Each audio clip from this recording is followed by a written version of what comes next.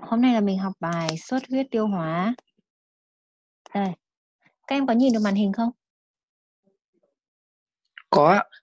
À, đã nhìn thấy chỗ ca lâm sàng rồi đúng không? Vâng ạ. Ừ ok. Thế vẫn nghe được thì bây giờ mình sẽ trình bày nhé. Các bạn vào sau thì ờ, mute đi nhá. Ờ, tắt mic đi không ồn nhá. Bây giờ slide bệnh sử này thì vẫn nhìn được đúng không? Vâng ạ. Ok. Có một bệnh nhân nam này, 54 tuổi, uh, vào viện là vì đi ngoài phân đen. Bệnh diễn biến được ờ, uh, 10 ngày và bệnh nhân cứ đi ngoài phân đen ít một, uh, không nôn gì cả. uh, tiền sử của bệnh nhân này thì cũng hơi phức tạp, tức là bệnh nhân này thì có tăng huyết áp, điều trị thường xuyên. Huyết áp nền của bệnh nhân thì khoảng 140 trên 90.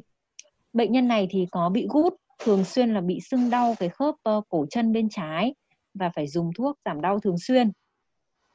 Đợt này thì ờ, 3 ngày trước khi mà vào viện, 3 ngày trước khi mà có cái diễn biến ờ, của cái đi ngoài phân đen ý, là bệnh nhân lại bắt đầu bị sưng cái khớp cổ chân bên trái. Bệnh nhân ờ, mua thuốc nam uống nhưng mà sau đấy thì vẫn đau và bệnh nhân thì có sử dụng Acoxia 60 mg.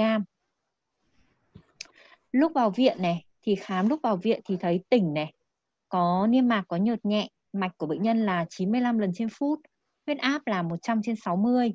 Ờ, tim phổi thì không vấn đề gì, bụng thì mềm, không có trướng, không có gan lách không có to, không có tuần hoàn bảng hệ, không có sao mạch, không có vàng mắt vàng da. Như vậy thì câu hỏi đầu tiên đặt ra cho các em. Bây giờ nhá, như vậy là nắm được bệnh sử của bệnh nhân này rồi đúng không? Vậy thì ở bệnh nhân này, câu hỏi đầu tiên là khi nào thì sẽ bắt đầu khi nào thì bệnh nhân cần phải soi dạ dày. Các em sẽ cho soi ngay khi nhập viện, soi trong vòng 6 tiếng sau khi nhập viện, soi trong vòng 12 tiếng sau khi nhập viện hay là soi trong vòng 24 giờ sau khi nhập viện.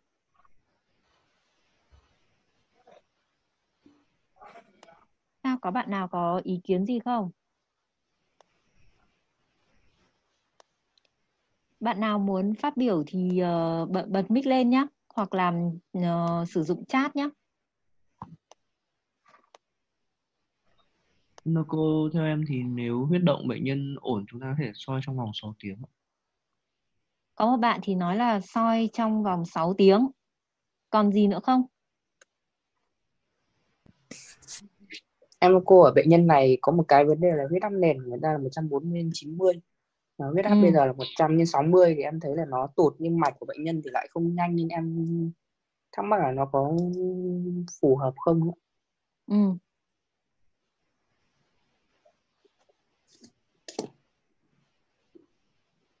sao có còn, còn bạn nào có ý kiến gì không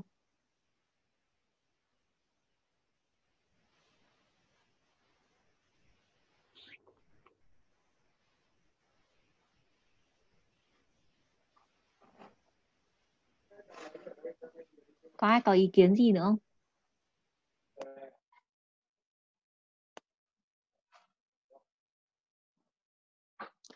Bây giờ nhá, sẽ share cho các em một cái màn hình khác để uh, mọi người có một tí hình dung xem là với bệnh nhân này thì mình phải tiếp cận như thế nào.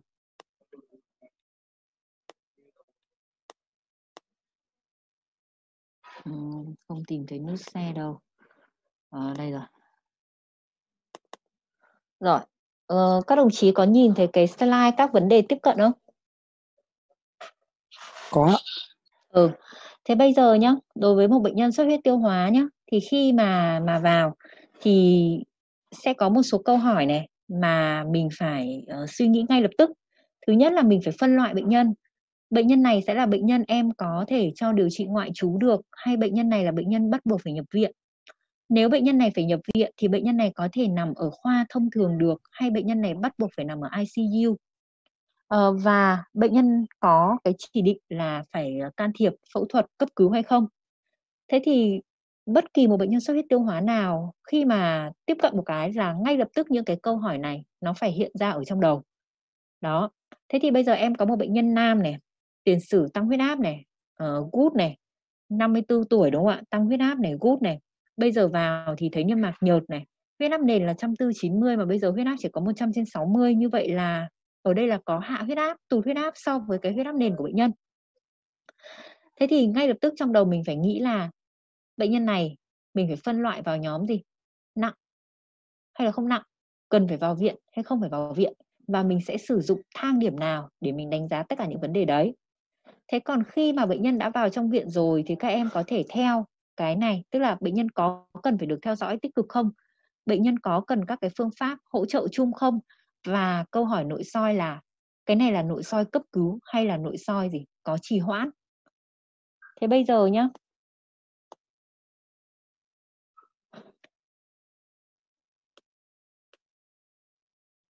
Về lâm sàng nhá, thì nó sẽ có câu hỏi đầu tiên mà mình phải trả lời là bệnh nhân có rối loạn huyết động không? Hay là có dấu hiệu sốc hay không? Và câu hỏi thứ hai đấy là mình phải phân biệt xem cái này là xuất huyết tiêu hóa do tăng áp lực tĩnh mạch cửa hay là không do tăng áp lực tĩnh mạch cửa.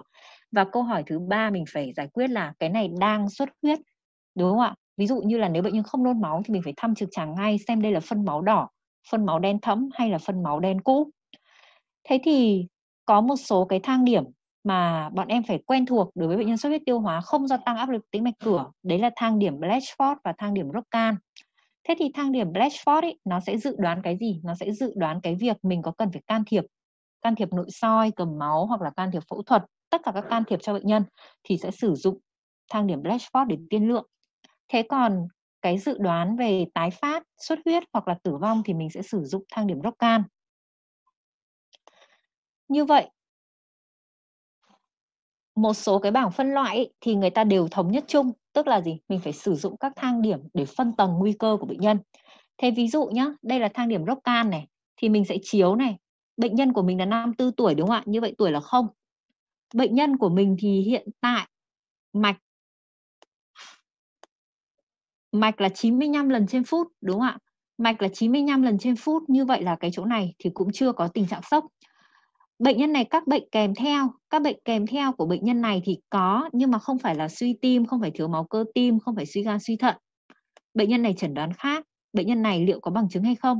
Như vậy, nếu này, mình sử dụng cái thang điểm Roccan ấy thì sẽ có duy nhất một chỗ mình lăn tăn ấy đấy là gì? Bệnh nhân hạ huyết áp, đúng không ạ? Cái mục số 2 này tuy bệnh nhân của mình không không không phải là chưa phải là sốc bởi vì huyết áp vẫn được 100 trên 60 nhưng so với huyết áp nền của bệnh nhân thì là tụt.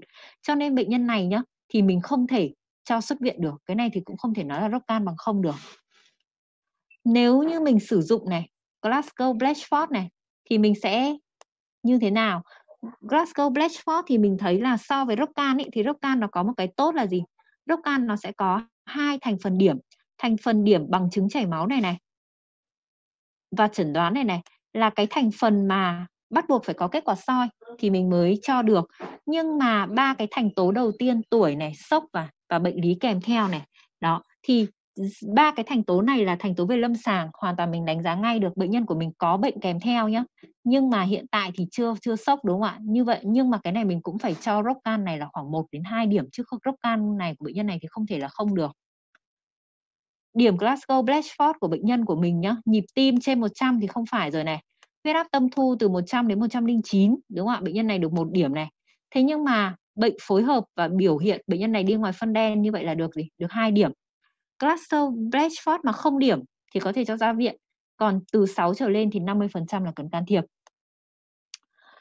Như vậy này, nếu nhá mà mình sử dụng này, các cái thang điểm này này, thì cái việc chẩn đoán và tiên lượng ấy là nó sẽ đỡ hơn. Thế bây giờ quay lại câu hỏi là thời điểm nào là thời điểm mình cần phải soi? Thì đây can thiệp nội soi. Thì có một cái nghiên cứu từ năm 2007 này. Các em có nhìn được cái bảng này không? Alo? Có có ừ thời điểm nội soi nhìn được đúng không? Alo alo À vâng, bọn em nhìn được cô ạ. Có cô ạ. Ờ, ờ, ok, tại vì không thấy phản ứng gì. Thế thì cái nghiên cứu này ý, là một nghiên cứu hồi cứu người ta chia ra làm hai nhóm là giữa nhóm mà tại thời điểm 0 đến 6 giờ và cái nhóm mà nội soi tại thời điểm từ 6 đến 24 giờ thì người ta thấy là không có sự khác biệt về tỷ lệ tái xuất huyết này, tỷ lệ phẫu thuật này, tỷ lệ tử vong này và tỷ lệ tái nhập viện trong vòng 30 ngày. Có nghĩa là nếu em nội soi cấp cứu trong vòng 6 tiếng và cái việc là em vẫn nội soi nhưng mà trì hoãn trong vòng từ 6 tiếng đến 24 giờ là nó không không có sự khác biệt. Ờ, các em đợi một tí nhé, mình sẽ tìm một cái bài báo bởi vì có một cái bài báo rất, rất là hay vừa mới ra xong mà ở trên uh, New England Journal của cái nhóm các tác giả Hồng Kông ấy họ làm về cái thời điểm nội soi. Thì đấy là một cái nghiên cứu mà mà tiến hành rất là tốt thiết kế thử nghiệm rất là tốt luôn. Đây rồi.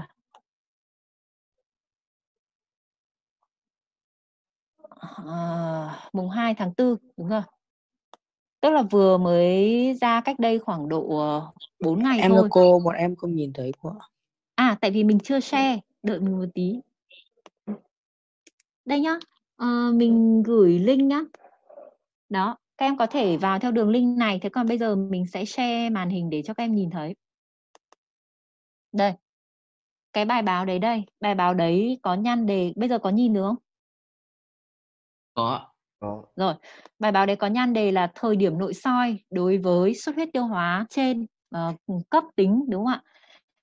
Thế thì cái thiết kế của nghiên cứu này rất là tốt bởi vì uh, cái nghiên cứu này nó là cái nghiên cứu mà được tiến hành tiến cứu nhá và chia nhóm. Ừ, chứ không phải là uh, cái nghiên cứu giống như là nghiên hồi cứu. Và người ta chia ra làm uh, hai nhóm để uh, đánh giá giữa cái việc mà mình soi này trong vòng 6 tiếng và cái mình soi sớm nhưng mà có trì hoãn từ 6 đến 24 tiếng. Và cái cái kết cục mà người ta đánh giá đấy đấy là tỷ lệ tử vong trong vòng 30 ngày. Thế thì nghiên cứu này thu tuyển được 516 bệnh nhân này. Đó. Và cái tỷ lệ tử vong sau 30 ngày của cái nghiên cứu này là 8,9% ở cái nhóm soi trong vòng 6 tiếng và 6,6% ở cái nhóm mà soi từ 6 đến 24 tiếng. Và kết luận của họ là gì? Kết luận của họ là đối với những cái bệnh nhân xuất huyết tiêu hóa cấp tính mà có nguy cơ chảy máu, uh, tái phát hoặc là có nguy cơ tử vong ấy thì cái việc mà mình soi sớm ấy trong vòng uh, ờ, 6 tiếng ấy không có không không không có liên quan gì tức là nói chung là nó sẽ không cải thiện gì so với cái việc mà mình lựa chọn soi giữa 6 với giữa 6 đến 24 giờ. À, tại sao phải nhắc các đồng chí cái chuyện này? Thật ra là cái chỉ định soi ở mình ý, uh, thì thì nó rất là dễ. Uh, các em đi qua Bạch Mai hoặc các em đi qua đại học lúc học sẵn sàng cho nên là cái chỉ định nội soi của mình ý, tương đối là là rộng rãi. À, có điều là mình phải hiểu là liệu cái chỉ định nội soi đấy của mình ý, nó có phù hợp hay không. Thế thì nếu như muốn chỉ định nội soi cho bệnh nhân ý, thì cái đầu tiên bọn em phải quan tâm đấy là huyết động của người bệnh. Nếu như huyết động của người bệnh không đảm bảo ví dụ huyết áp của bệnh nhân này mà chỉ khoảng độ tầm 80 50 nhá thì sẽ không có cái chỉ định soi cấp mà bắt buộc là gì? Là mình phải hồi sức ít nhất là nó cũng phải lên được giống như bây giờ tức là huyết áp khoảng độ 100 trên 60 cái thứ hai nữa ấy, là mình hoàn toàn có thể trì hoãn bởi vì sao? Mình phải hỏi bữa ăn cuối cùng của người bệnh. Cái này rất quan trọng nhiều khi là chỉ quan tâm đến mạch huyết áp mà quên mất hỏi uh, hỏi là người bệnh ờ, ăn lúc mấy giờ. Thế thì nếu như người bệnh người ta ăn trong vòng 6 tiếng thì mình sẽ phải đợi đủ thời gian thì thì mới có thể soi được thì đấy là một số cái điểm mà mà để nhắc về cái chỉ định nội soi ở bệnh nhân này. Như vậy bệnh nhân này nếu như với cái tình hình như thế này uh, nếu như mà với cái tình hình như thế này thì mình sẽ thấy là gì? Bệnh nhân này chưa phải có cái chỉ định soi cấp. Có một vấn đề nữa mà sẽ đặt ra cho các em đấy là đối với bệnh nhân này này thì bọn em sẽ cần phải làm cái gì? Nhớ nhá tất cả những đương nhiên là người ta nói là bệnh nhân trên 60 tuổi nhưng mà thật ra ông này 50 tuổi trở lên mà lại có bệnh nền tăng huyết áp. Bắt buộc bọn em phải làm một cái điện tim phải làm một cái điện tim để chắc chắn là bệnh nhân này gì không có thiếu máu mạch vành.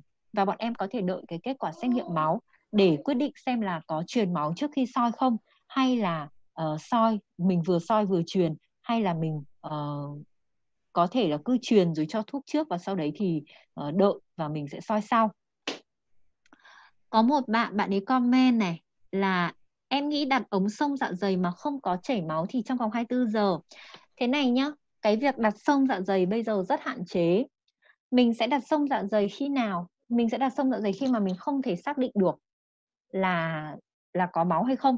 Hoặc là ví dụ trong những cái trường hợp tái xuất huyết ấy, đó, mà mình nghi ngờ là tái xuất huyết nhưng mà mình đợi đi ngoài phân ra cái màu gì đấy thì nó rất là lâu. Vậy thì có thể mình sẽ đặt sông dạ dày, chẳng hạn em đã cầm máu xong rồi, nhưng mà bây giờ thấy là gì? Mạch huyết áp tụt này, xong rồi thấy bệnh nhân nhợt đi rất là nhiều này. Đó, thì lúc đấy em có thể đặt sông dạ dày. Hoặc là trong trường hợp bệnh nhân mới ăn khoảng độ 2 3 tiếng mà bệnh nhân lại có chỉ định soi dạ dày cấp, vậy thì mình sẽ đặt sông dạ dày, mình hút thử xem là ở trong dạ dày có còn sữa siếc gì không và mình bơm rửa để cho cái cuộc soi diễn ra thuận lợi hơn. Thế còn đối với những bệnh nhân thông thường, ví dụ như bệnh nhân này thì mình không không cần phải đặt ống sông dạ dày bây giờ mình quay lại bệnh án một tí nhé để xe lại màn hình này đến chỗ này có có bạn nào hỏi gì không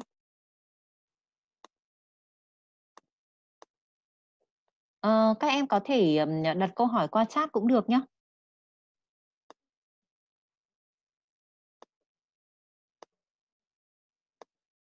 Em thưa cô ạ. Alo ạ. Đây, xin mời, xin mời. Em Trong lúc mình xem màn hình thì cứ hỏi đi. Với bệnh nhân mà tăng huyết áp, à, chẳng hạn như tăng huyết áp ấy, thì bù huyết động thì Ừ. bù đến bao nhiêu thì được có thể nội soi được ạ? À, ờ, kể cả bệnh nhân tăng huyết áp nhá, mình sẽ không bao giờ mình nâng đến huyết áp nền của bệnh nhân cả. Không bao giờ mà mình bảo là mình phải nâng đến ví dụ bệnh nhân này nhá, huyết áp là 140 90 đi.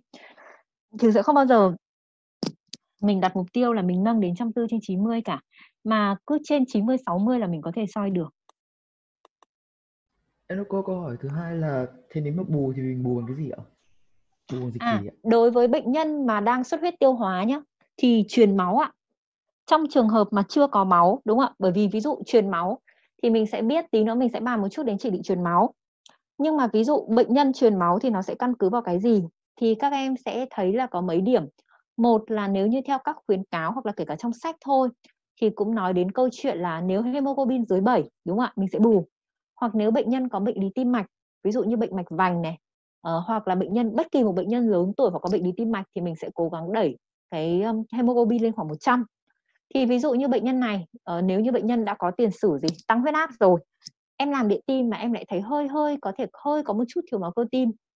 uh, vậy thì cái bệnh nhân này sẽ nằm trong nhóm là gì? Mình cố gắng đẩy huyết sắc tố lên 100.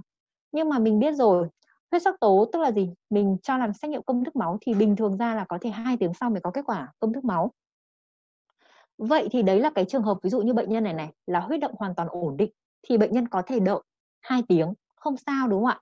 Nhưng mà trong những cái trường hợp mà cấp ý, ví dụ này vào chẳng hạn như bệnh nhân này huyết áp nếu là 80 50, mạch là 120. Vậy thì câu hỏi đặt ra là bây giờ huyết áp 80 50, mạch 120 là không soi được rồi.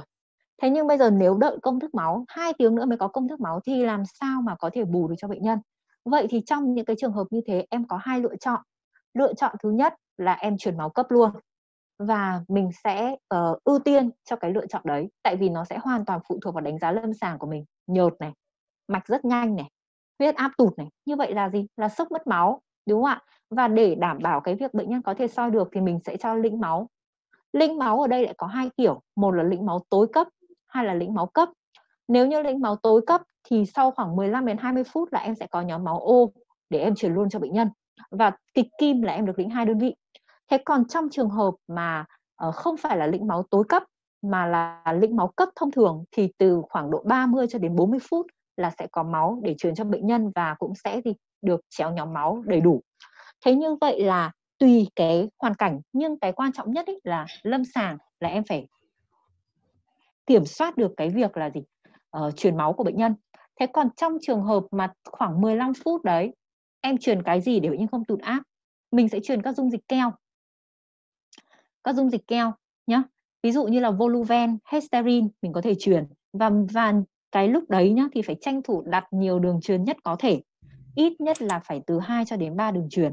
Thậm chí trong trường hợp tiên lượng nếu bệnh nhân này là một bệnh nhân rất nặng và nếu như điều dưỡng đã chọc kim mấy lần rồi mà không thể nào mà lấy được uh, ven thì bắt buộc là phải gì? Đặt đường truyền tĩnh mạch trung tâm. Tức là phải đặt luôn tĩnh mạch trung tâm chứ không đợi nữa, bởi vì những bệnh nhân này sẽ rất là nặng. Thì đấy là một số điểm để nhắc. Hình như là có câu hỏi đúng không? Xem nào.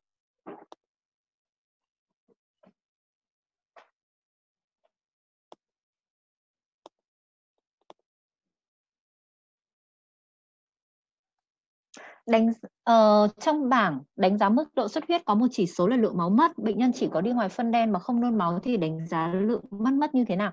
Rất khó không thể đánh giá được bởi vì nó còn lượng máu mất mà ở bên trong lòng ruột nữa mà bệnh nhân chưa đi ngoài ra nữa cơ cho nên cũng không thể đánh giá được. Bây giờ nhá câu hỏi tiếp theo đối với bệnh nhân này. Khi nào thì bọn em sẽ bắt đầu cho điều trị PPI ngay khi nhập viện. Em đợi kết quả nội soi trong vòng 6 tiếng sau khi nhập viện hay trong vòng 12 tiếng sau khi nhập viện.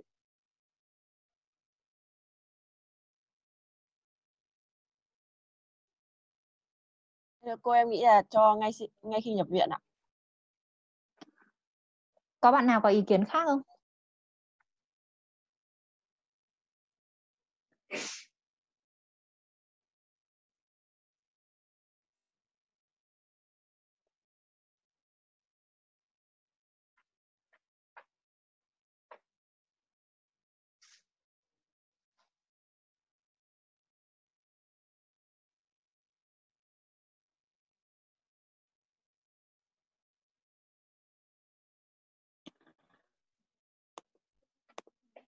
B.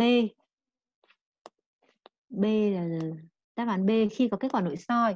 Đúng không ạ? Như vậy là chúng ta thấy là cùng cùng một cái um, uh, cùng một bệnh nhân nhé nhưng mà cái cách tiếp cận của mỗi người lại khác nhau. Trong khi uh, rõ ràng là gì? Là uh, chúng ta cùng đọc sách này. Nhưng mà có vẻ như là mỗi người hiểu theo một ý khác nhau. Khi mà vào đến bệnh nhân cụ thể thì mỗi ông lại hiểu theo một ý khác nhau ở đây thì không có bạn nào chọn C và D. Đấy, không có bạn nào chọn C và D cả đúng không ạ? Thứ nhất là mình sẽ thấy là gì? Chỉ định nội soi ấy, không phải lúc nào mình cũng chỉ định nội soi cấp cứu được ngay mà mình lại còn phải hồi sức nữa. Và bệnh nhân thì không thể không có thuốc cho đến khi có kết quả nội soi được. Khi mà bệnh nhân đã vào viện có nghĩa là ngay lập tức mình phải xử trí tất cả mọi thứ cùng một lúc. Mình sẽ phải làm bệnh án này đúng không ạ? Mình sẽ phải chỉ định xét nghiệm này và ngay lập tức mình phải gì? Chỉ định gì? Bệnh nhân này cần sử dụng thuốc gì? Thế thì ở cái đoạn đầu của cái bệnh sử ấy là mình đã nói rồi, đúng không ạ? Đây là một bệnh nhân mà gì? Không có yếu tố nguy cơ gì của gì? Của sơ gan cả. Gan lách không sờ thấy này, không có tuần hoàn bàng hệ, không có sao mạch, đúng không ạ? Không thấy khai thác về tiền sử về rượu. Như vậy thì đây là một bệnh nhân mà gì? Mình có thể phân loại ngay. Đây là nhóm xuất huyết tiêu hóa không do tăng áp lực tĩnh mạch cửa. Và vì vậy nên bệnh nhân này ngay khi nhập viện, mình sẽ có chỉ định là gì? Điều trị PPI ngay, chứ mình không đợi kết quả nội soi nữa. Ví dụ bệnh nhân này trước khi vào viện, người ta lại đi ngoài phân đen nhá, chứ người ta không phải nôn máu. Cho nên ví dụ trước khi vào viện, người ta lại ăn một bát cháo chẳng hạn. Vậy thì cái chỉ định soi mà trong khi huyết động vẫn đang ổn định, thì có khi chỉ soi nó lại bị lùi xuống còn là 6 tiếng sau mới soi được. Vậy thì chả nhẽ trong 6 tiếng đấy, bệnh nhân không dùng thuốc gì à? Không được, đúng không ạ? Mà mình bắt buộc mình vẫn phải cho gì? Cho PPI và thậm chí là cho PPI giống như liều khuyến cáo là gì? Ngay lập tức mình sẽ phải cho gì? Bolus nhá. Bolus là gì? Hai ống ờ, uh, PPI xong rồi sau đấy là gì? Mình sẽ phải truyền liên tục trong vòng 72 giờ. Nào đến chỗ này thì đã đã đã thấy uh, thống nhất chưa? Có bạn nào thắc mắc gì về chỗ này không? Như vậy là nhá, ở đây câu trả lời sẽ là A, đúng không ạ? Tức là bệnh nhân sẽ được truyền sẽ được sử dụng PPI ngay khi bệnh nhân nhập viện. Rồi có một bạn bảo là xem bệnh nhân có xuất huyết tiêu hóa do tăng áp lực tĩnh mạch cửa không? Đúng thế. Khi bệnh nhân vào viện thì bọn em phải phân loại ngay lập tức. Tức là đương nhiên mình có thể không thể bắt là uh, mình phải chẩn đoán ra là cái này là loét thực quản, cái này là loét dạ dày, cái này là loét hành tá tràng. Mình không thể làm được việc đấy nhưng ngay lập tức mình phải chẩn đoán ra được cái này là xuất huyết tiêu hóa trên hay xuất huyết tiêu hóa dưới. Cái thứ hai là mình phải chẩn đoán được cái này là xuất huyết tiêu hóa trên do tăng áp lực tĩnh mạch cửa hay không do tăng áp lực tĩnh mạch cửa. Bởi vì hai loại là sẽ có cái chỉ định điều trị khác nhau. Bây giờ, câu hỏi tiếp theo. Khi nào bệnh nhân này, bệnh nhân này cần truyền máu? Hemoglobin dưới 110 dưới 90 dưới 80 hay dưới 70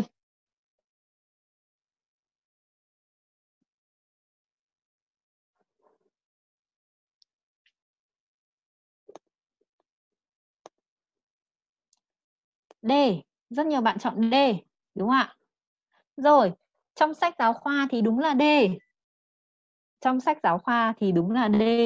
nhưng bệnh nhân này nếu là tôi thì tôi sẽ chọn B tức là dưới 90 tại sao? Tuổi trên 50 có tiền sử tăng huyết áp. Hiện tại rõ ràng đang có tụt áp so với huyết áp nền của bệnh nhân nhá. Cho nên đây là bệnh nhân có yếu tố nguy cơ tim mạch mà.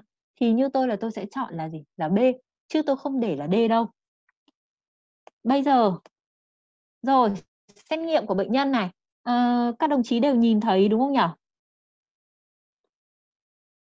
các em có nhìn thấy xét nghiệm của bệnh nhân không? Có. Rồi xét nghiệm của bệnh nhân nhá nó có mấy thứ này. Một hemoglobin 72 đó như vậy là nếu như bọn em căn cứ vào sách thì bọn em sẽ thấy là bệnh nhân này không phải truyền đúng không ạ? Nhưng mà trên thực tế thì bệnh nhân này rất rất nên được truyền ít nhất là một đơn vị tiểu cầu này đông máu hoàn toàn bình thường này men gan bình thường này đúng không ạ? Bệnh nhân này thì ure này có 4,5 thôi có vẻ là một cái xuất huyết tiêu hóa đã cầm chứ cũng không phải là một cái xuất huyết tiêu hóa mang tính chất cấp tính. Cho nên là đối với bệnh nhân này thì cái chỉ định mà nội soi là có nhưng mà không bắt buộc là phải nội soi cấp cứu ngay lập tức. Thế bây giờ nhá mình sẽ xem này là kết quả nội soi của bệnh nhân này như thế nào này. Bệnh nhân này soi vào dạ dày trong trẻo rồi. Thấy có loét hành tá tràng. Có nhìn thấy mũi tên đang chỉ vào không?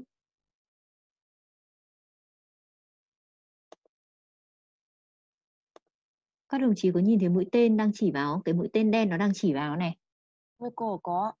ừ nhưng mà cái ổ loét này nhá thì hiện tại nhá là loét thành tá tràng Forest 2C cũng không có chỉ định phải can thiệp nữa. Tại sao? Tại vì là hiện tại thì ổ loét nó cũng đang liền rồi và nó không chảy máu nữa câu hỏi đặt ra, có một câu hỏi đặt ra cho các đồng chí đây thế như bệnh nhân này thì có nên làm test HP trong khi nội soi hay không?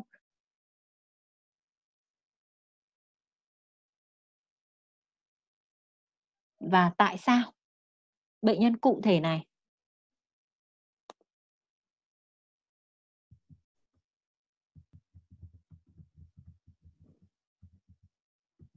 Không, có thể nghe ý kiến của một bạn xem là tại sao em lại nghĩ là bệnh nhân này với kết quả soi như thế này mình sẽ không làm test HP không? Một số bạn nói là bởi vì nghĩ đến nguyên nhân là do gì? Ờ, do NSAID. Rồi một số bạn, ờ, một bạn thì lại bảo có bởi vì ờ, vị trí loét này là vị trí loét ở ờ, hành tá tràng.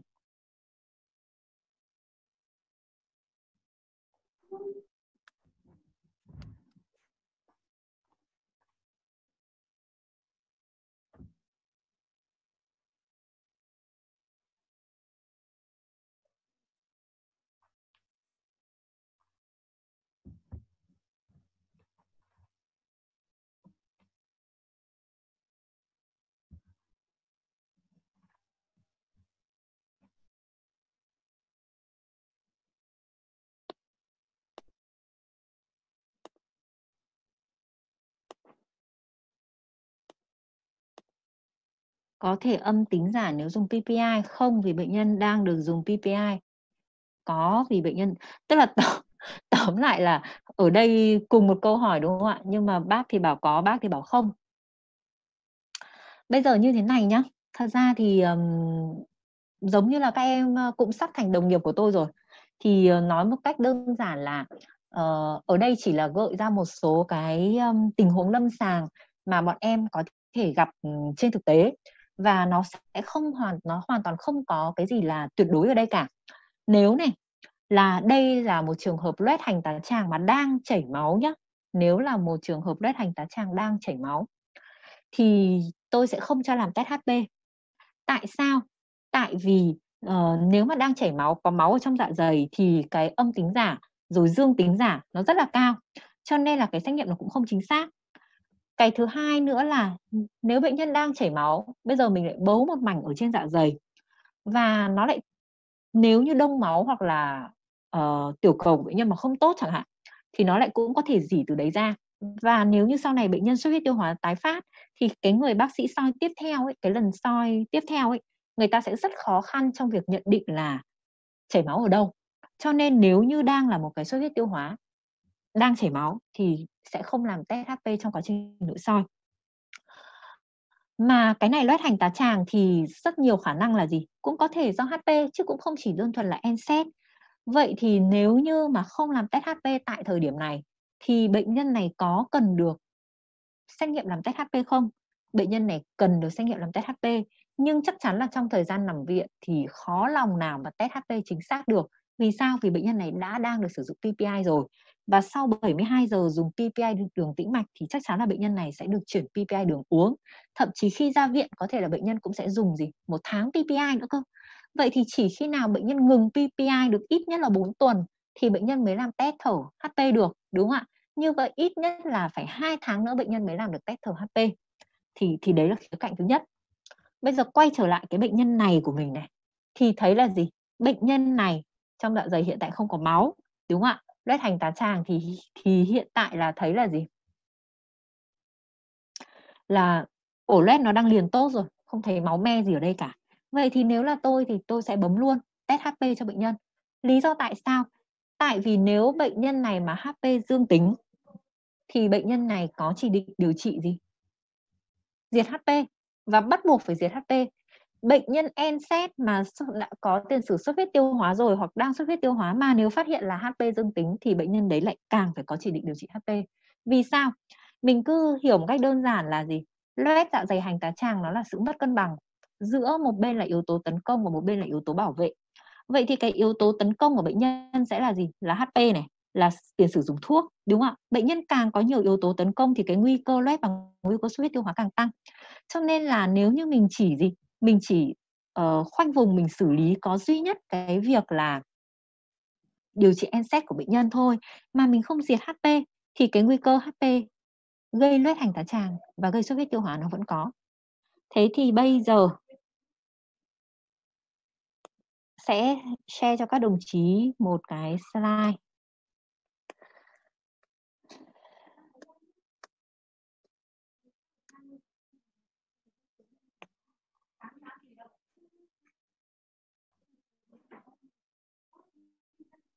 Um, share screen này ok. Rồi uh, các em có nhìn thấy cái slide này không? Cái slide này là nguy cơ khi sử dụng NSAID alo? Alo alo có nghe thấy không? Em có có ừ rồi. Có nhìn được màn hình không Ừ rồi. Thế này nhá. Thì đây là một cái nghiên cứu này để người ta theo dõi trên cái tỷ lệ mà xuất hiện các cái biến cố về tiêu hóa uh, đối với đường tiêu hóa trên và đối với đường tiêu hóa dưới khi mà mà sử dụng ờ, uh, NSAID. Thế thì bây giờ mình sẽ thấy là gì? Các yếu tố nguy cơ nào khi sử dụng NSAID mà đối với đường tiêu hóa thì nó sẽ có những cái bệnh nhân nào thì sẽ có cái nguy cơ tổn thương đường tiêu hóa tăng. Thứ nhất là tuổi trên từ 65 trở lên. Thứ hai là tiền sử đã từng loét dạ dày tá tràng rồi.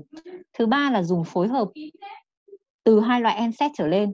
Thứ tư là dùng rất nhiều các thuốc khác ví dụ ngưng tập chống ngưng tập tiểu cầu này chống đông này steroid này uh, ức chế chọn lọc serotonin này và có bệnh lý gì? Nội khoa nặng.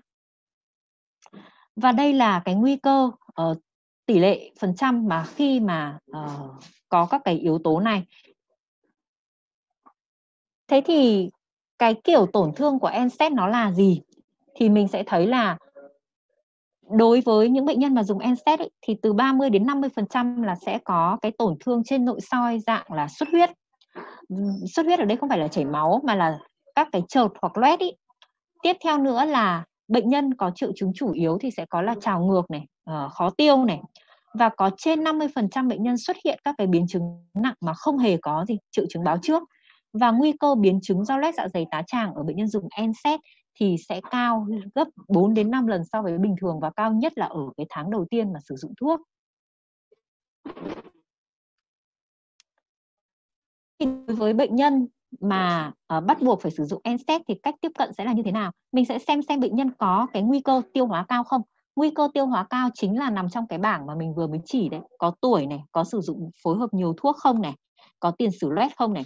Thì nếu như bệnh nhân ấy mà có cái nguy cơ uh, tiêu hóa cao thì bước tiếp theo lại phân xem bệnh nhân có nguy cơ tim mạch như thế nào.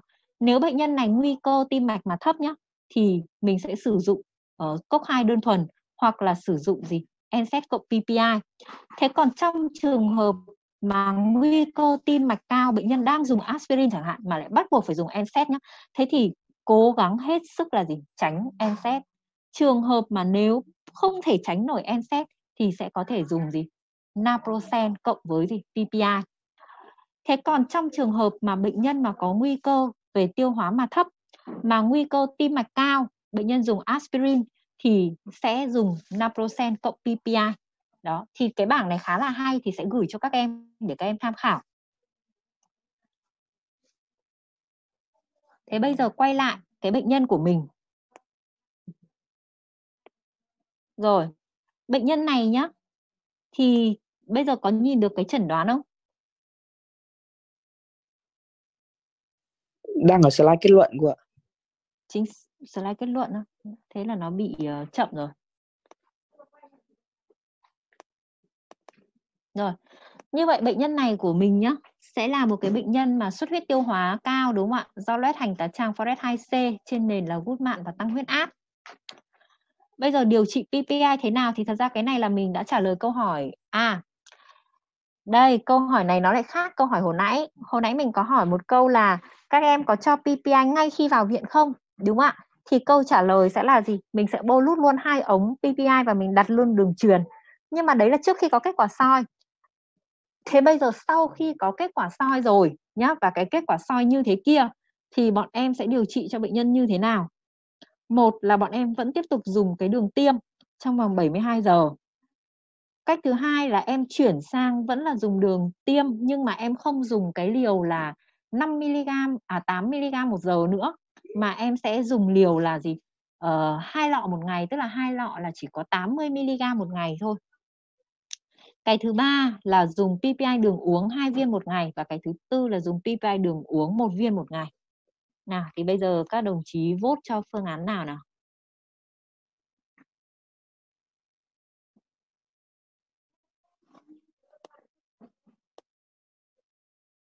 ờ, uh, PPI C đúng không ạ? Cái này nhá thì uh, các em có thể gì? Nếu mà để cho an toàn ấy thì mình sẽ chọn phương án B. Tức là mình sẽ chuyển sang dùng PPI gì? Đường tiêm tĩnh mạch nhưng chỉ có hai lọ một ngày trong hết 72 giờ rồi mình sẽ chuyển sang mình dùng mình dùng đường uống thì uh, mình nghĩ như thế sẽ an toàn hơn bởi vì đây là một bệnh nhân lớn tuổi này soi không có máu nhưng có thể là gì loét do NSAID thì nó sẽ loét đa ổ dọc đường tiêu hóa cho nên như mình thì mình sẽ lựa chọn phương án là B và hết 72 giờ mình mới chuyển sang phương án là C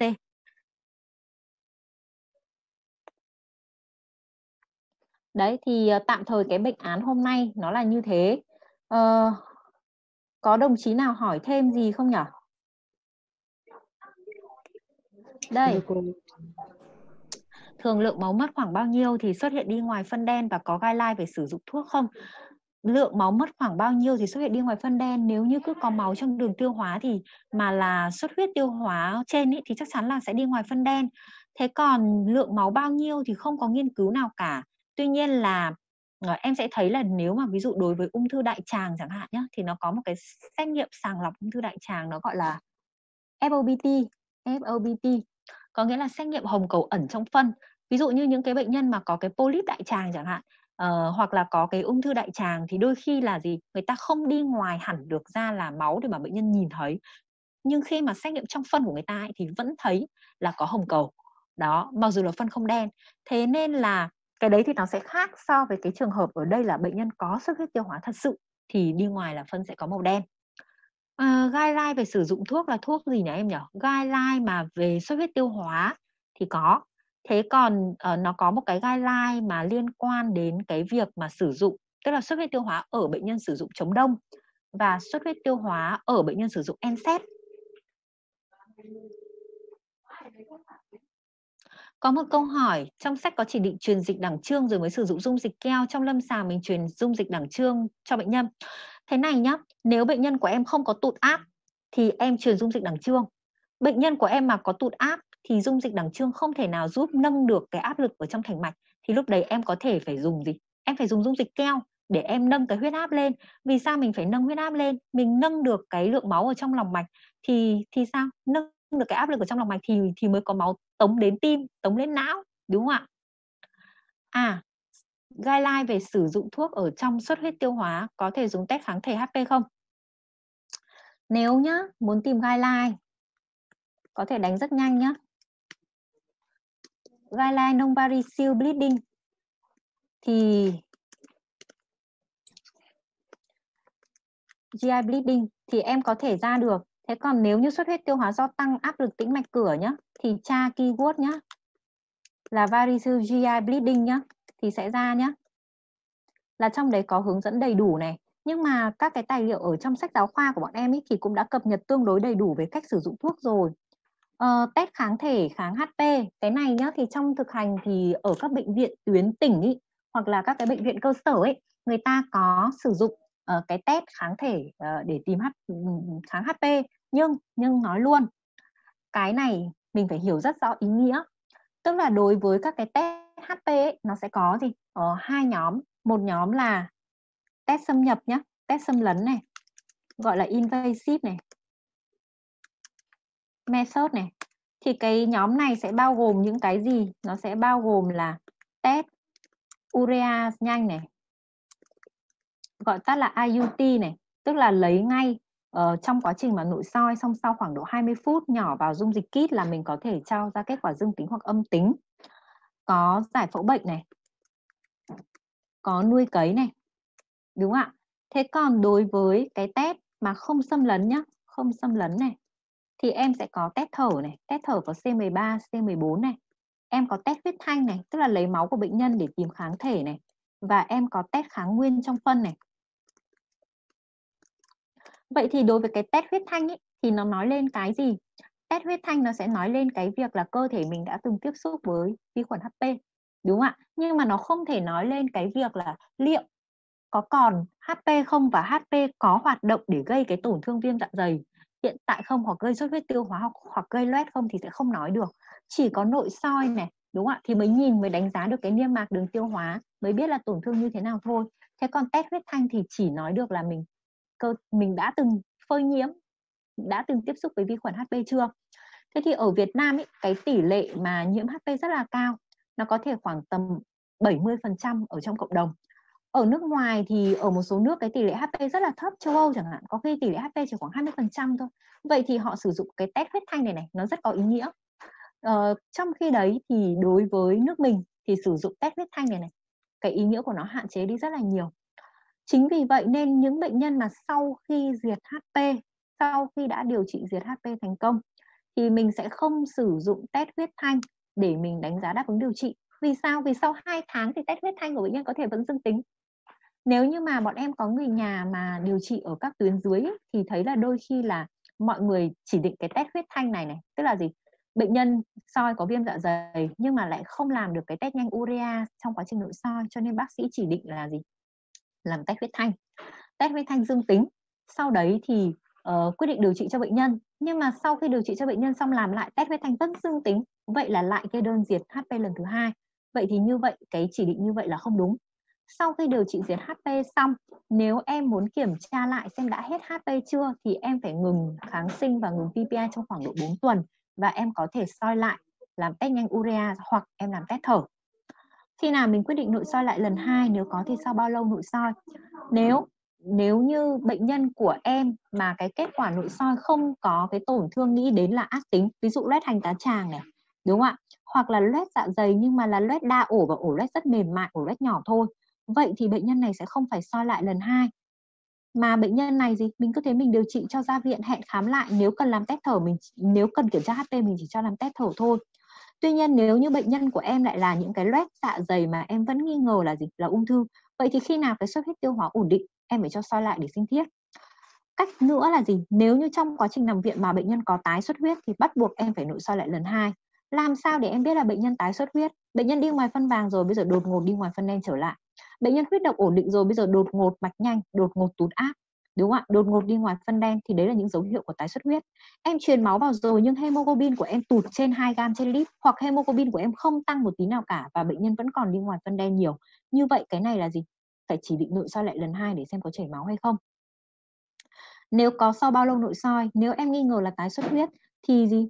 Thì không có sau bao lâu mà là gì? Em lại quay lại xem cái này là phải soi cấp cứu ngay hay là soi có thể trì hoãn? Điều trị diệt HP có tác dụng làm nhanh liền ổ loét hơn hay ngăn ngừa ổ loét tái phát không ạ? Khi nào phải có bằng chứng là có HP thì mới diệt HP chứ còn uh, không phải là mình cứ thấy ví dụ loét hành tá tràng như thế này đúng không ạ? Không có bằng chứng của HP nhưng mà vì mình nghĩ là cái này ờ, uh, loét ở vị trí hành tá tràng thì mình cứ thế mình diệt HP. Bệnh nhân xuất huyết tiêu hóa sau bao lâu thì cho ra viện? Bệnh nhân xuất huyết tiêu hóa khi nào phân vàng, huyết động ổn định có thể cho ra viện.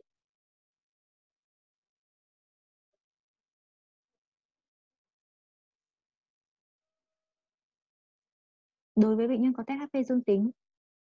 Điều trị HP có tác dụng À, tức là đối với bệnh nhân mà HP dương tính thì điều trị HP có tác dụng làm nhanh liền ổ loét hơn hay ngăn ngừa ổ loét tái phát hơn?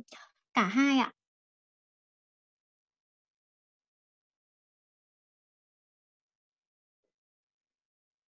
Vẫn còn thời gian đúng không? Thì ờ, để chiếu cái về loét uh, loét loét um, uh, hành tá tràng em thưa cô, duy trì mục tiêu huyết áp bao nhiêu? Huyết áp cao quá có tăng nguy cơ xuất huyết hơn. Đúng thế, ví dụ bệnh nhân này nhá, thì mình sẽ không không hướng đến mục tiêu là quay trở về cái huyết áp 140 ví dụ, có những bệnh nhân huyết áp có khi 160 108 cơ, thì không bao giờ mình hướng đến cái huyết áp 160 180 hoặc như bệnh nhân này, cái hướng của mình không phải là 140 trên 90 đúng không ạ? Bởi vì mình biết rồi, đối với bệnh nhân tăng huyết áp ấy, khi mà mình bù lại đủ rồi ấy, đấy, thì mình lại, bệnh nhân lại bắt đầu có cái nguy cơ xuất huyết tiêu hóa tăng lên. Cho nên là gì? Những bệnh nhân này có thể mình chỉ để huyết áp khoảng độ 110 120 là được. Loét dạ dày và loét tá tràng điều trị có khác nhau không? Loét tá tràng thì điều trị sẽ khác đấy ạ.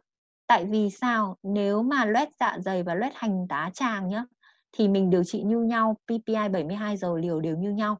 Tuy nhiên loét dạ dày thì mọi người chú ý này, nếu như loét hành tá tràng ấy, thì gần như là gì? Lành tính thì trong loét dạ dày mình lại phải phân biệt. Nếu loét dạ dày mà là loét đa ổ nhá, thì thường là lành tính. Nhưng loét dạ dày mà là loét đơn độc, loét một ổ, loét ở một số vị trí, ví dụ như loét bờ cong nhỏ này, loét tiền môn vị này, loét ở thân vị này, thì những cái ổ loét đấy là những ổ loét nguy cơ ung thư hóa. Trong xuất huyết tiêu hóa thì có thể mình không sinh thiết ngay được, nhưng mình rất cần lưu ý cái việc là gì? Khi nào tình trạng xuất huyết tiêu hóa ổn định thì mình sẽ phải sinh thiết. Bệnh nhân hỏi lại chỗ bệnh nhân này có được làm test HP luôn khi đang nằm viện không ạ? Câu trả lời là bệnh nhân này không được làm test HP. Tức là trong thực tế thì bệnh nhân này không được làm test HP trong quá trình nằm viện. Nhưng mình đã nói rồi, cái này không có câu trả lời tuyệt đối. Ví dụ nếu mình là bác sĩ soi mà bệnh nhân này đang không xuất huyết tiêu hóa thì mình sẽ làm luôn test HP của bệnh nhân. Bệnh nhân này hẹn tái khám như thế nào ạ? Bệnh nhân này nếu mà để hẹn để ví dụ bệnh nhân này là không kiểm tra HP đúng không ạ? Vậy thì nếu bệnh nhân này mình muốn kiểm tra HP cho bệnh nhân thì mình sẽ cho thuốc một tháng và sau đấy mình hẹn bệnh nhân là gì? Tái khám lại sau gì? Sau 8 tuần, tức là sau 2 tháng để kiểm tra HP.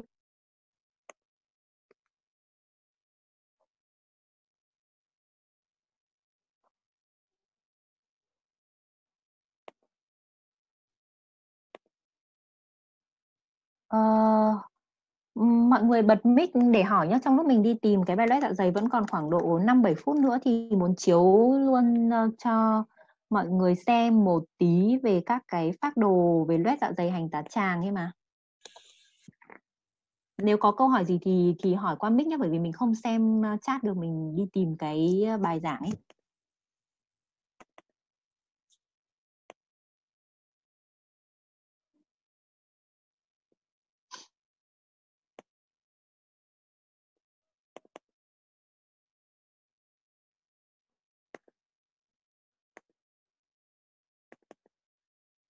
Bài giảng Y4 Y4 loét dạ dày tá tràng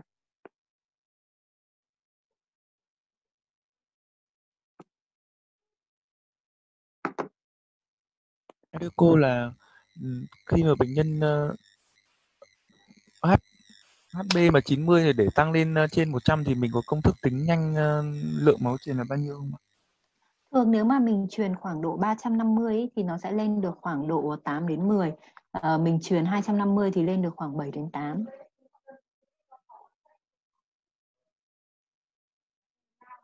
Rồi, bây giờ nhé. Sẽ chiếu cho mọi người một cái này nữa.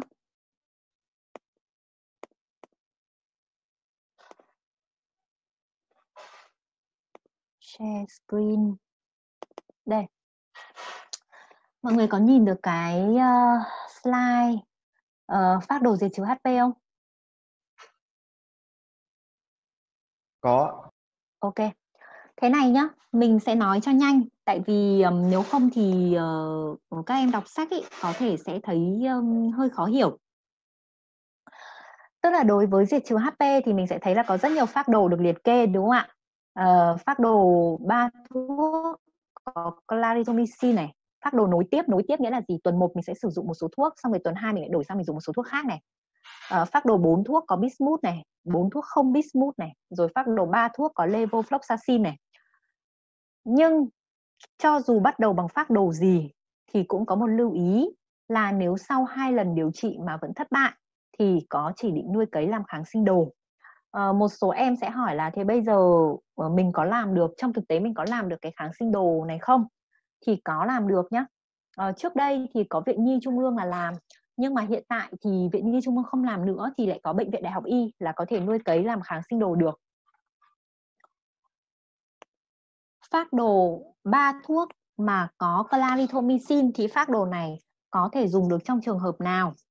Phác đồ này hiện tại ở Việt Nam không dùng được nữa đâu lý do tại sao? Tại vì phác đồ ba thuốc có clarithromycin chỉ áp dụng cho những cái khu vực dịch tễ mà có tỷ lệ kháng clarithromycin dưới 15% nhưng mà Việt Nam thì đã qua cái ngưỡng kháng clarithromycin dưới 15% lâu rồi. Ờ, số liệu mà ở các vùng miền ấy thì tỷ lệ kháng có thể đến ba chục bốn chục phần trăm hoặc có một số nghiên cứu còn cao hơn cơ. Cho nên là mình sẽ không thể dùng phác đồ ba thuốc có clarithromycin được nữa vậy thì cái phác đồ được ưu tiên sử dụng sẽ là gì phác đồ bốn thuốc có hoặc không có bismuth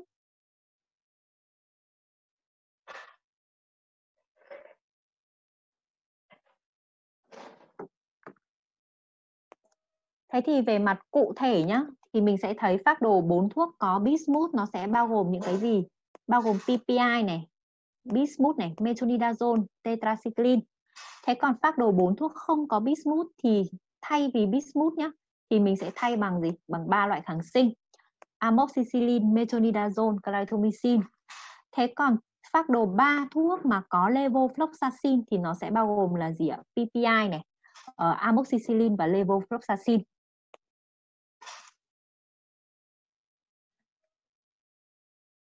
bảng liều thì chắc là cái này sẽ gửi thì các em có thể tham khảo nó có một số điểm chú ý thôi thứ nhất là dùng bismuth nhá là phân sẽ có màu đen. Vậy thì nếu như bệnh nhân của mình xuất huyết tiêu hóa do loét hành tá tràng mình xác định được là bệnh nhân này HP dương tính.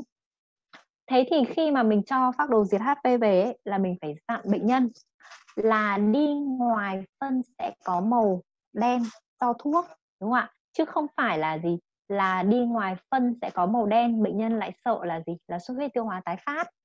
Vậy thì làm sao mà mình có thể hướng dẫn để người ta biết được là là phân đen này là do người ta chảy máu lại hay là phân đen này là do người ta dùng thuốc? Thì thường ý, nếu như phân đen ý, mà do xuất huyết tiêu hóa trở lại ý, thì thì thường là phân nó sẽ gì? Sẽ nát sẽ lỏng và phân nó sẽ có mùi khẳm. Cái nữa là nếu như bệnh nhân thấy mệt hoa mắt chóng mặt thì đấy là triệu chứng của xuất huyết tiêu hóa tái phát. Thế còn nếu như bệnh nhân vẫn đi ngoài khuôn được mà phân nó chỉ sậm hơn thôi hoặc nó nâu đen thôi và bệnh nhân hoàn toàn không có các triệu chứng khác thì đấy là do thuốc và đấy là do trong hai tuần mình sử dụng bismuth PPI một số nghiên cứu cho thấy nếu như tăng liều gấp đôi PPI thì sẽ tăng được từ khoảng độ 7 đến 10% cái tỷ lệ dịch trừ HP. Thì đấy là một số điểm để nhắc nhắc. À, ờ, có bạn nào có câu hỏi gì nữa không nhỉ?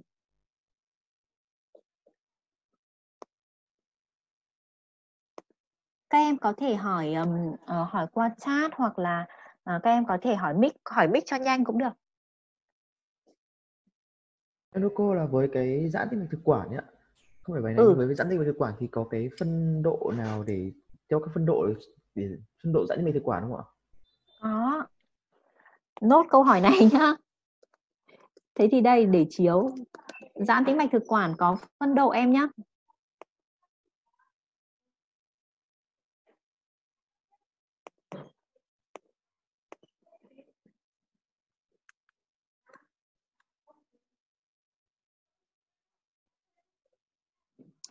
Đợi một tí. Đây rồi. Lại share màn hình.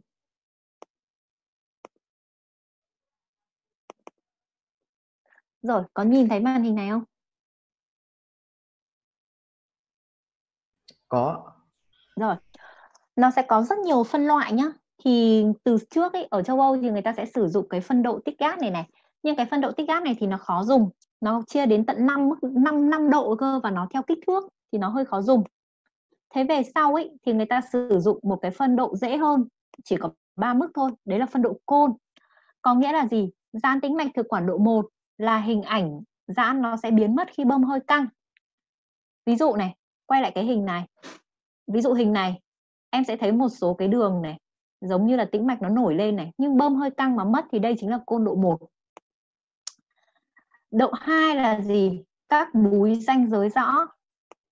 Độ 2 đây, danh giới rõ luôn, đúng không ạ? Và độ 3 là gì? Độ 3 là búi giãn to, chiếm phần lớn lòng thực quản. Nếu mà không bơm hơi thì gần như là che hết, dây soi vào rất khó khăn. Thì ví dụ như thế này, cũng có thể coi là gì? Là độ 3. Hoặc là như cái hình này là độ 3 nhá. Thế thì sau đấy ấy, đấy là phân độ côn là cái phân độ mà rất dễ sử dụng cho nên trên lâm sàng người ta sẽ hay dùng cái này. Em sẽ thấy trong các kết quả soi có thể ghi là giãn tính mạch thực quản độ 2, giãn tính mạch thực quản độ 3. Tuy nhiên là ở phân độ côn này này hoàn toàn người ta chỉ sử dụng dựa vào kích thước của búi giãn thôi. Thế còn sau đấy ý, thì các tác giả Nhật Bản ấy người ta tạo ra một cái phân loại rất là chi tiết thì giống như là trong hình đang để tiếng Anh đây này thì nếu các em quan tâm thì có thể tìm. Thì trong cái này người ta chia ra là gì? Thứ nhất là vị trí búi giãn. Thứ hai là độ F1, F2, F3 thì nó cũng giống như côn. Cái thứ ba là màu, tức là búi giãn của em uh, trắng hay là tím. Cái thứ tư là búi giãn của em có nguy cơ chảy máu không? Ví dụ nếu có các dấu hiệu đỏ thì là có nguy cơ chảy máu. Búi giãn của em có đang chảy máu không? Và búi giãn của em có loét hay có sẹo thắt cũ gì không? Ví dụ này. Búi giãn đây đúng không ạ? Nhưng mà tôi thấy một số dấu dấu đỏ này. Đây, một số dấu đỏ, một số mũi đen, mũi đen chỉ đây này. Đó. Thế thì đây là những búi giãn có nguy cơ gì? Nguy cơ cao. Uh... Ôi rồi, ca dạ dày có phải biến chứng của loét không? Không phải loét dạ dày nào cũng tiến triển thành ung thư dạ dày. Nhưng mà ung thư dạ dày cũng là nằm trong uh, danh sách của biến chứng của loét. Liều chuẩn của omeprazole trong bài loét là 20, còn bài xuất huyết tiêu hóa là 40. Ờ, thứ nhất là omeprazole nhá thì là một cái PPI chuyển hóa rất là kém cho nên đối với omeprazole mình sẽ thấy là trong xuất huyết tiêu hóa ấy, là mình phải sử dụng chế phẩm đứng tiêm thì chỉ có duy nhất là isomeprazole với biệt dược là Nexium và pantoprazole với biệt dược là Pantoloc thì mới có có cái ống tiêm thôi. Đấy, thế còn các cái PPI khác là không có dạng tiêm, omeprazole chỉ có đường uống thôi. Omeprazole có cả viên 20 và có cả viên 40 mg. Liều chuẩn liều chuẩn của PPI đối với omeprazole là 40. Xuất huyết tiêu hóa do giãn tĩnh mạch thực quản nội soi thắt lại sau bao lâu? Ít nhất là 21 ngày. Thưa cô, hiện tại ưu tiên dùng PPI loại nào nhất để nhanh liền ổ lết? Mỗi PPI nó sẽ có một cái uh, gọi là không thể nói là cái nào tốt hơn cái nào được bởi vì mỗi cái nó sẽ có một số cái ưu điểm riêng. Nhưng nếu như cho xuất huyết tiêu hóa thì như vừa nói là có mỗi hai loại thôi đúng không ạ? Mình chỉ có hai lựa chọn thôi một là pantoprazole hay là isomeprazole uh, ờ, pantoprazole thì nó sẽ có một số cái tốt đấy là uh, nó không chuyển hóa qua ship 2C19 đúng không ạ? Tương tác thuốc rất ít cho nên là đối với những bệnh nhân mà dùng NSAID đối với những bệnh nhân mà dùng uh, chống đông chống chống ung tập tiểu cầu thì lựa chọn pantoprazol khá là an toàn. Tuy nhiên cái ờ, uh, PK1 và PK2 của pantoprazol không không không tốt bằng các PPI khác, không tốt như isomeprazole hoặc rabeprazole cho nên tác dụng liền ổ lết thì sẽ không nhanh bằng. test nào nên làm để chẩn đoán xác định nhiễm HP uh, ờ, test mà có độ nhạy cao nhất thì đấy sẽ là test thở đúng không ạ? Thế còn uh, trong cái tình hình ở Việt Nam thì có hai cái test tương đối chính xác mà hay được sử dụng. Đấy là một là test nhanh urea trong quá trình nội soi hai là test thở. Phản ứng tăng tiết axit hồi ứng nếu mà bệnh nhân viêm khớp điều trị NSAID có dự phòng omeprazole sau khi ngừng dùng tăng tiết trào ngược đau thượng vị đói kiểu bóng rát thì điều trị như thế nào? Thật ra đối với những cái bệnh nhân ý, mà người ta phải sử dụng thuốc lâu dài ý, ví dụ như bệnh nhân mà dùng NSAID này bệnh nhân mà dùng uh, chống đông này chống ngưng tập tiểu cầu ấy thì cái uh, nhu cầu về việc phải sử dụng PPI phối hợp của bệnh nhân rất là cao. Chừng nào bệnh nhân vẫn còn phải sử dụng các cái thuốc mà có nguy cơ đối với từng đường tiêu hóa thì cái người bạn đồng hành không thể thiếu được đấy chính là PPI có điều là khi lựa chọn PPI cho những bệnh nhân này thì nó sẽ có hai ý. Một là mình phải lựa chọn PPI có tương tác thuốc thấp an toàn cho bệnh nhân. Cái thứ hai là mình phải giảm xuống cái liều tối thiểu mà mà bệnh nhân đã đáp ứng. Nghĩa là gì? Ví dụ nếu anh dùng isomeprazole đúng không ạ? 40 mg. Nhưng anh phải suy nghĩ đến việc là khi ổn rồi anh phải giảm xuống gì 20 mg, chứ không thể là dùng 40 mg liên tục được. Tương tự như vậy, nếu anh dùng omeprazole 40 mg, nhưng mà anh thấy bệnh nhân đáp ứng tốt rồi, thì anh sẽ giảm xuống là gì? 20 mg. Kể cả là gì? Rabeprazole cũng thế, nó cũng có hàm lượng 10 và 20 mg. Mình sẽ cố gắng giảm xuống cái liều gì? Liều thấp nhất mà bệnh nhân đáp ứng. Bởi vì những bệnh nhân này có thể sẽ phải điều trị lâu dài. Hết rồi đúng không? Hết câu hỏi rồi. Thế thì sẽ gửi cho mọi người bệnh án uh, của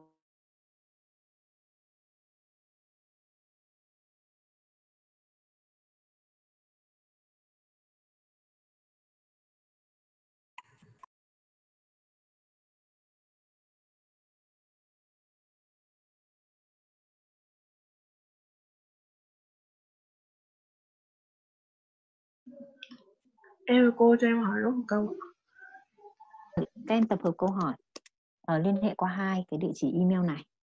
Rồi à, thế cảm ơn nhá. Không hỏi gì nữa thì có thể kết thúc buổi học ở đây nhá.